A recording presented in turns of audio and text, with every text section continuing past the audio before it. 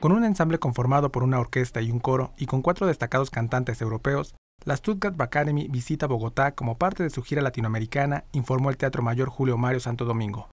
La orquesta dirigida por el maestro Hans Christoph Rademann interpretará este 31 de mayo dos obras de Johann Sebastian Bach que se transmitirán de forma gratuita a través de www.teatrodigital.org a las 20 horas locales.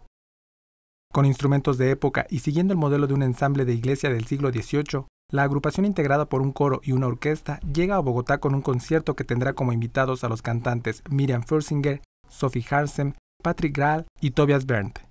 Esta reputada orquesta barroca es un referente internacional de calidad y de difusión musical.